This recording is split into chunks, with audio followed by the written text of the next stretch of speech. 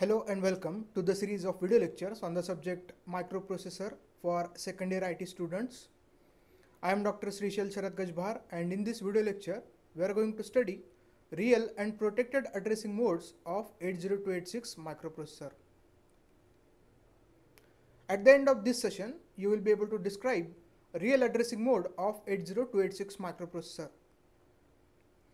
You will also be able to describe protected virtual addressing mode of 80286 microprocessor. 80286 microprocessor operates in either of the two modes.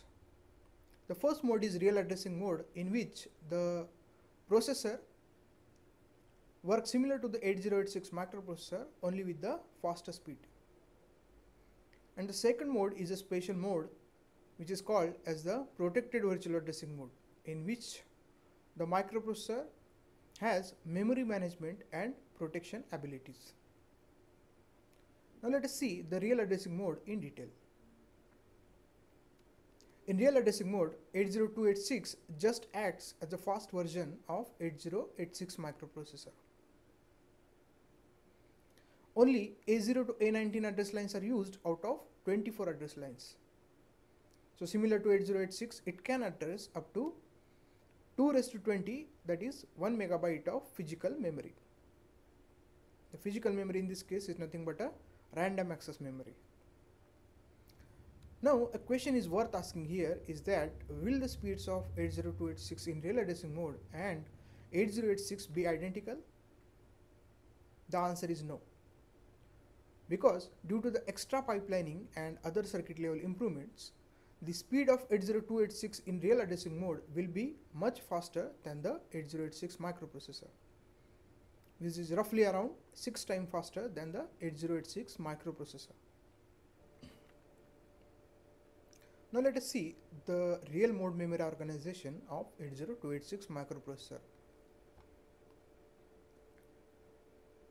In real mode of 80286 microprocessor, it can address 1 megabyte of physical memory which is divided into 16 logical segments each of 64 kilobyte in size.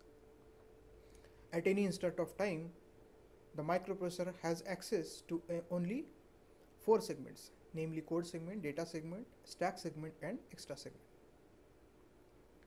Now these segments can be of two types either they can be non-overlapping segment or they can be overlapping segment.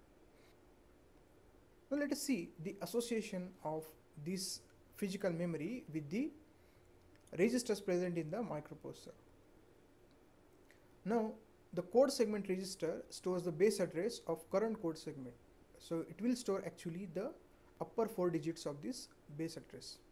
So similarly data segment will store the upper four digits of the data segment base address and so on. Now let us see how the 20 bit physical address is generated in case of real mode of 80286 microprocessor. Here we require base address and offset address. Now in this case the offset value which is 16 bit is added with the segment register value which is shifted to the left by 4 bits. So these are added by the adder to give the 20 bit physical address. Now the segment register value of 16 bit can be present in either of these segment registers whereas this offset value can be obtained in this particular offset register. So for example if you want to access the instruction from the code segment of the memory then in that case the base address will be stored in the code segment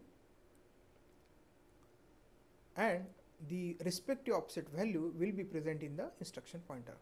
So similar explanation can be given for the remaining segment register and offset values.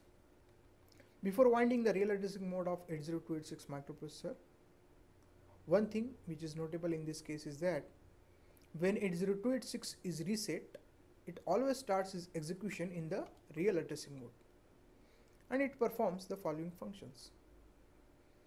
First, it initializes the instruction pointer and other registers. It initializes the peripherals. Then it initializes the interrupts. Then it sets up the descriptor tables and prepares for entering the protected virtual addressing mode. Now pause for a minute and write down the answer of the following question.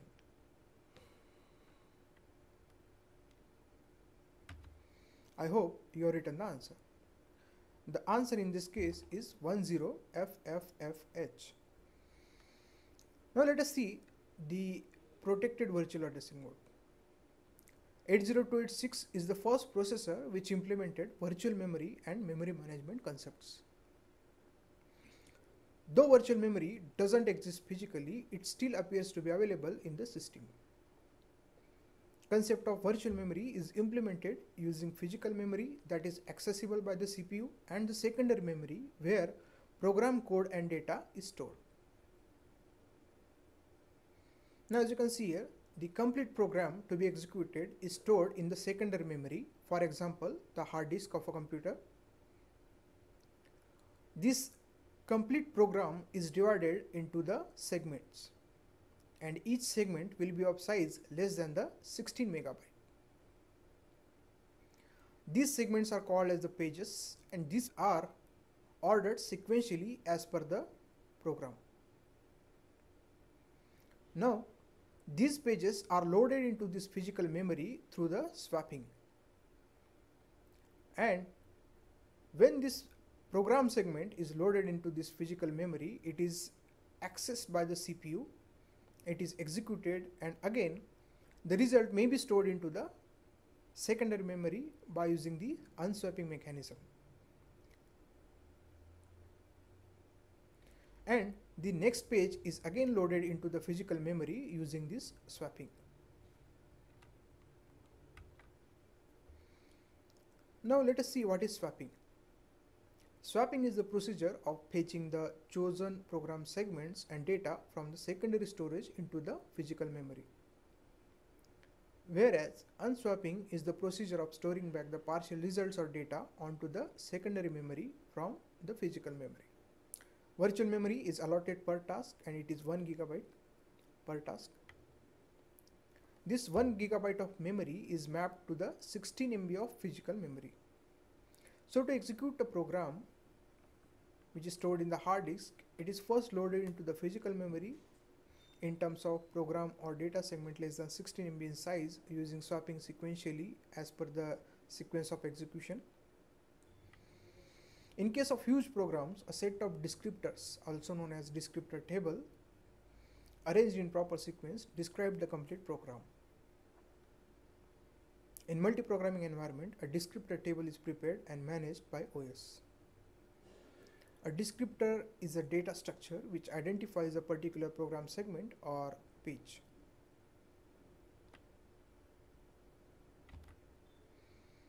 A page is a smaller segment belonging to a huge program. Pages are arranged in appropriate sequence and are swapped in and out of the primary memory as per the need of complete execution of a program. Information about a page is contained in the descriptor. There are different types of descriptors, data segment descriptors, code segment descriptors, system segment descriptors, which are mainly used for system programs. There are gate descriptors, which are used in case of subroutines. In protected virtual addressing mode, the 80286 uses the 16-bit contents of the segment register, namely code segment, data segment, stack segment, and extra segment as a selector. A selector is used to address a descriptor stored in the 16 MB physical memory. Now what is a descriptor? Descriptor is nothing but a block of contiguous memory locations containing information of a segment like segment base address, segment limit, segment type, privilege level, segment availability in physical memory, descriptor type, segment used by another task, etc. Now let us see the significance of descriptor information. Segment base address is the starting location of a segment. Segment limit indicates maximum size of segment. So using segment base and segment limit, one can find the last location of a segment. Segment type indicates importance of a segment. Privilege level also indicates importance of a segment. Segment with lower privilege level will not be allowed to access segment with higher privilege levels, thus offering a memory protection from unauthorized access. Segment availability in physical memory indicates certain segment is present or not in the physical memory. Descriptor type indicates whether it is a system descriptor or gate descriptor etc. Segment used by another task helps in deciding whether a particular segment should be unswapped from the physical memory or not. So this is a pictorial representation of how the 24-bit physical address is calculated in 80286 case. So this is a physical memory totaling 16 MB. Since the 24 address lines are used, it can access 16 MB of random access memory. Now similar to the real addressing mode, the segments will be available here in the unreserved memory area each of 64 kilobytes and at any instant of time only four segments will be active. In contrast with the real addressing mode, there will be also a segment descriptor table which is available in the physical memory which stores the information about the pages. Now in this case, similar to the real addressing mode, a physical address adder is used to generate a 24-bit physical address. The input to this physical address are segment base address and offset address. The segment base address is obtained from this segment descriptor information. So these are added here and the 24-bit address is obtained and the particular code or data is accessed from the random access memory. This is the reference. Thank you very much.